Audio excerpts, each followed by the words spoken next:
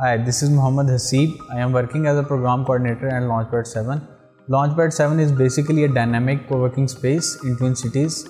Uh, we have two locations. One is in uh, Blue Area, Islamabad, and other one is at Murree Road.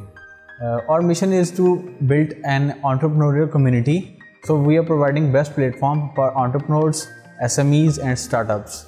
So come and join us for the prosper future hopefully we work together and grow together